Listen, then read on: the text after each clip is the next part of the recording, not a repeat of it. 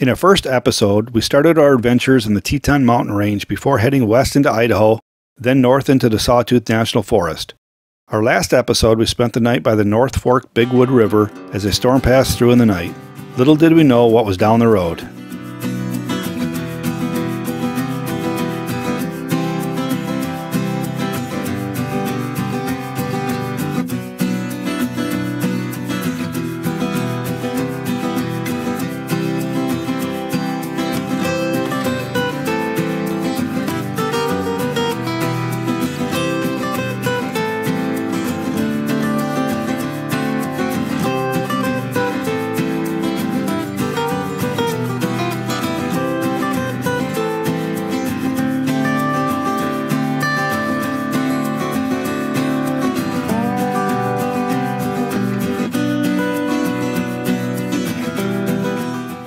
We were within a mile of the main road when we encountered a very large tree that had blown down in the storm overnight.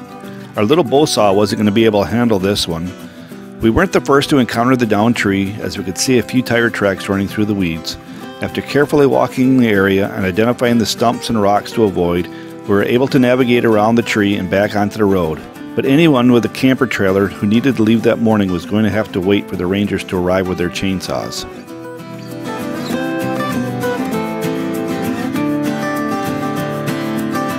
Driving the Galena Pass one more time with its elevation of 8,700 feet gave us the opportunity to stop at the scenic overlook and take in the view. In the distance, you can see the ruggedness of the Sawtooth Mountains, and in the valley below, the beginning of the Salmon River. Also known as the River of No Return, this river was known for its fast water and numerous rapids within the canyons that early boaters could navigate downstream but could not get back upstream. Its rough waters and rugged canyons proved impassable for the Lewis and Clark expedition in 1895. The Salmon River winds its way 425 miles through the Sawtooth Valley to meet up with the Snake River and eventually to the Pacific Ocean. We will be following the Salmon River north for the next 168 miles, camping near it several times.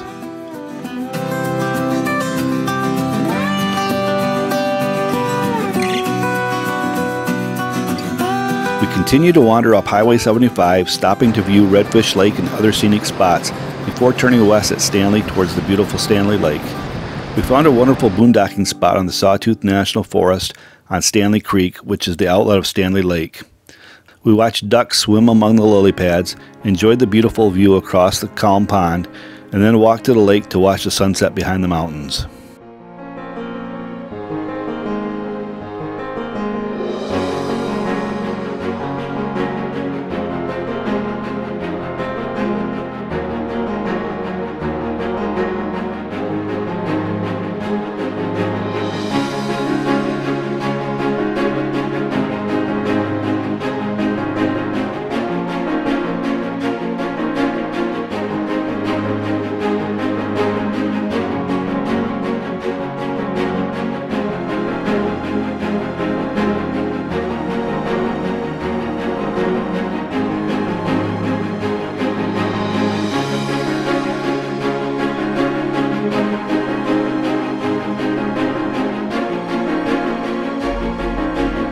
We awoke to a crisp 25 degrees on this sunny September day, and a soak in a hot spring sounded pretty good, so we headed off in search of two that were close to Stanley.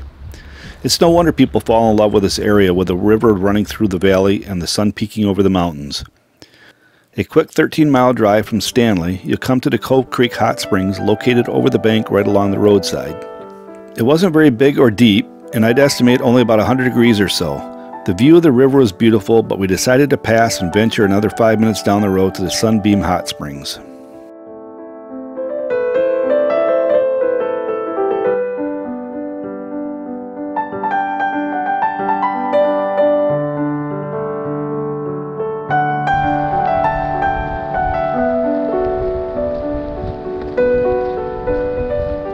This set of springs is also over the bank next to the highway and is pretty popular.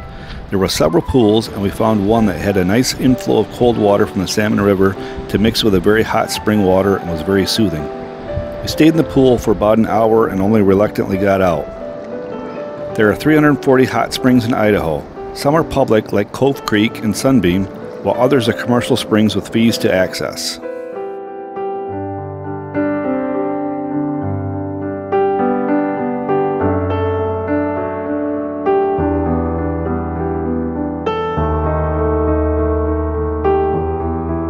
Were able to launch our inflatable kayak right from our campsite, paddling through the shallow pond and creek that led to the lake.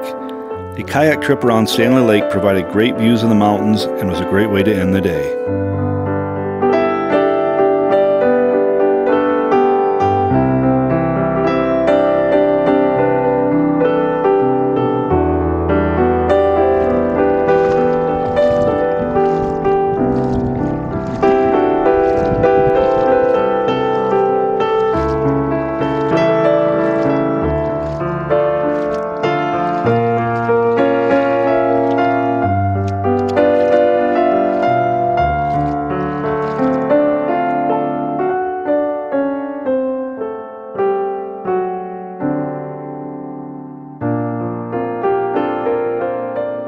Before leaving Stanley, we headed to the town park to fill up with water. The leaders sure knew what they were doing when they set aside this location for their park, as the mountain views are amazing.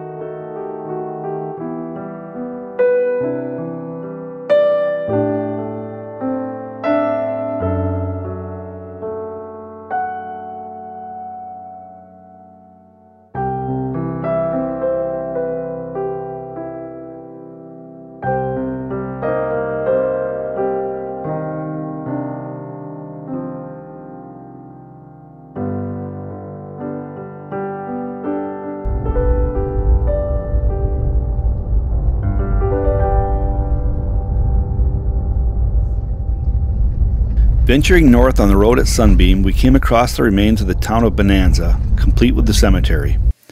Bonanza, settled in 1877, was the first major settlement in the area.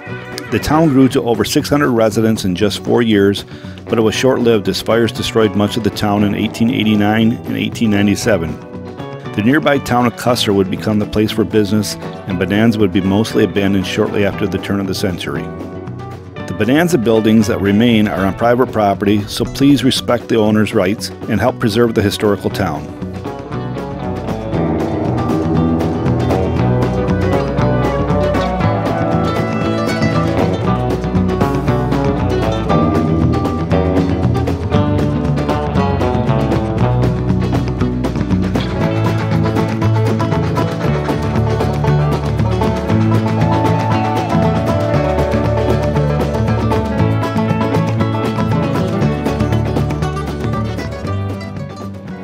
A little over two miles down the same road, you'll enter the town of Custer, which was established the same year as Bonanza in 1877. It's still a one street town and contains seven restored buildings, giving you the feel of what the town was like in the late 19th century. You'll find a self directed walking tour, and at certain times, a host provided historical background in the area.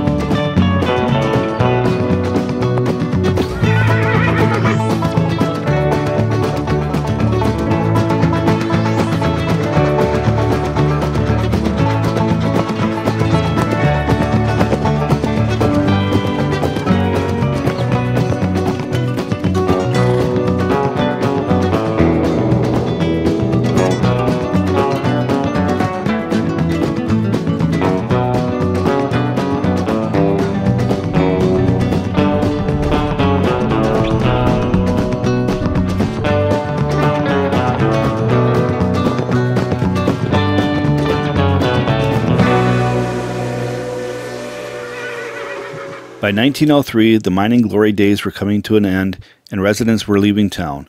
By 1910, Custer suffered the same fate as Bonanza and also became a ghost town. Off the road between the two towns, you'll come across the Yankee Fork Gold Dredge. This is a huge piece of equipment that extracts gold and silver from sand, gravel, and dirt. In simple terms, the steel buckets would dig up the ground in front and carry the earth inside the dredge. The material would then be sorted or sifted using a screen. Anything larger than 3 quarters of an inch would fall on a belt and would be dumped out the back of the dredge, creating what's called tailing piles. The smaller material would fall into sluice box for miners to examine for gold or silver. Gold is three to six times heavier than most other materials, so it would sink to the bottom, while lighter stones, gravel, and sand would be washed away in the panning process. The dredge was used for 13 years from 1940 to 1953. In those 13 years, over $1 million in gold and over $14,000 in silver were extracted. You can take a tour of the dredge from Memorial Day weekend through Labor Day, which we unfortunately just missed. The tailing piles do leave a mess in the landscape. The state and community are working together to put things back the way they were prior to the dredging.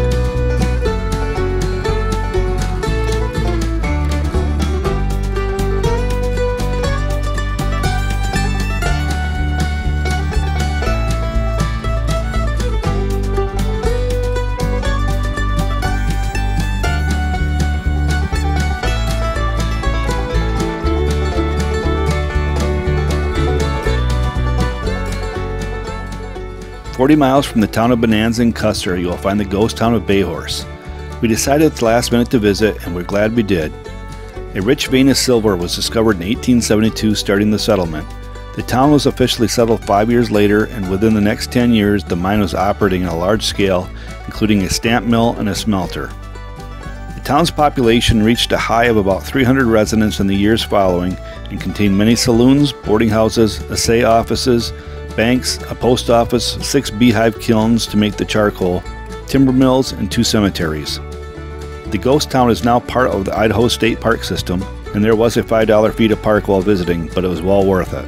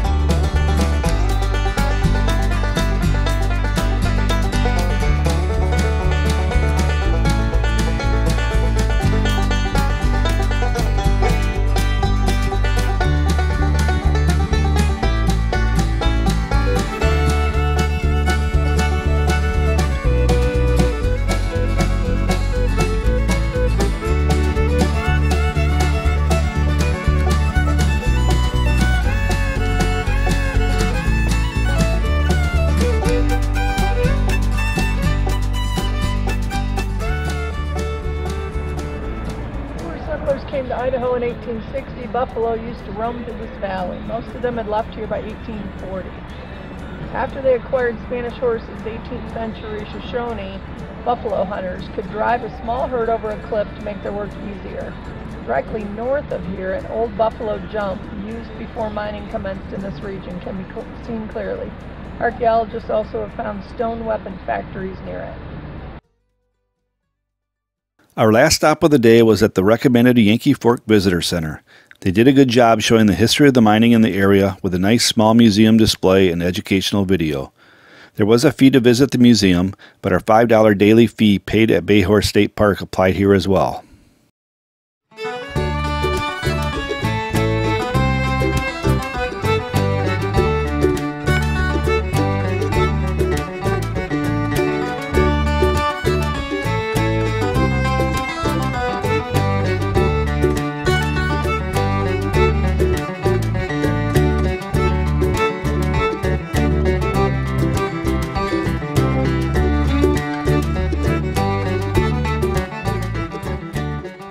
Getting late, so we headed north to the National Forest land to find a spot for the night.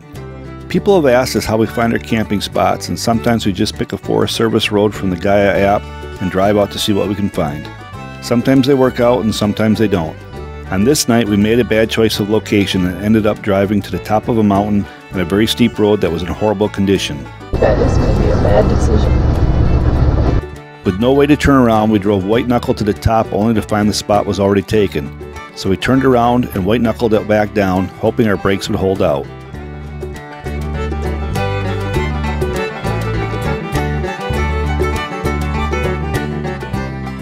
As a safer alternative not too far away, we found Bureau of Land Management property right on the Salmon River. This was a nicer spot than the mountaintop anyway, and we quickly got set up as the sun set.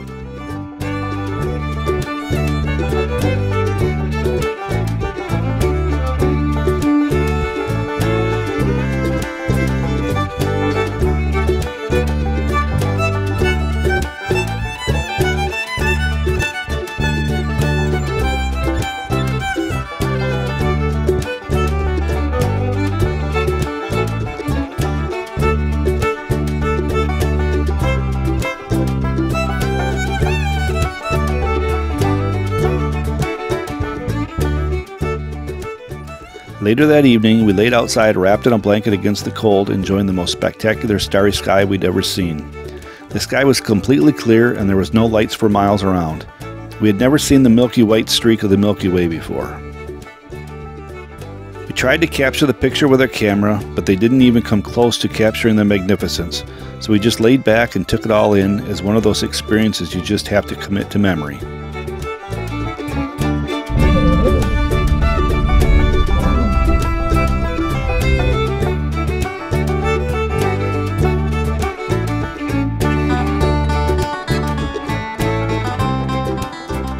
Stay tuned for our next episode where we camp at an epic waterfall site on the Lost Horse Creek in Montana and are warned of possible evacuation as a forest fire burns nearby.